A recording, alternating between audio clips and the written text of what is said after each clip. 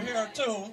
Uh, why don't you guys come on up and uh, introduce yourselves? Funky horns.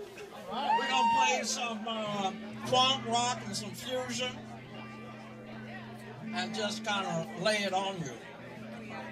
Say it, town, lay it on the line. Right, laying it on the line. Yeah, baby.